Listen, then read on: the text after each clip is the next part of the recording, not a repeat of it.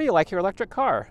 It's great. It's got great power, it's quiet, and the range is unbelievable. Did you know that INL is helping make batteries like this one possible? I had no idea.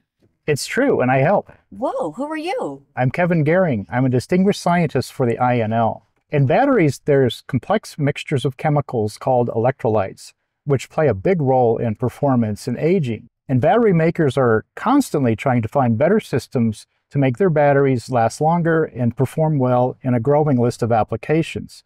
So I developed a scientific software called the Advanced Electrolyte Model that helps accelerate this process tremendously and gets advanced batteries to markets more quickly. Wow, I had no idea.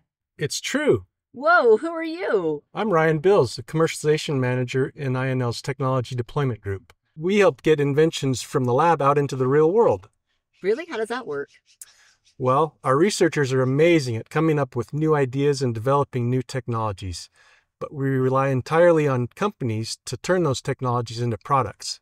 I help find the companies to license INL's technologies to.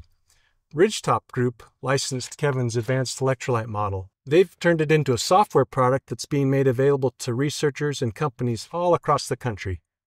That's really cool. That's right. At Ridgetop Group, we are a reliability engineering and technology company specializing in advanced diagnostics, prognostics, and battery health modeling and simulation. My name is Wyatt Pena, and I'm the VP of Operations here at Ridgetop. And I have had the great pleasure of working with Ryan and Kevin for nearly a decade. With this unique partnership and our expertise in power supply prognostics, we have bridged the gap between research and real world applications, bringing INL's breakthrough battery modeling technologies to industry. So next time you drive an EV, fire up your robotic vacuum, or track your workout on a smartwatch, you just might have INL to thank for it.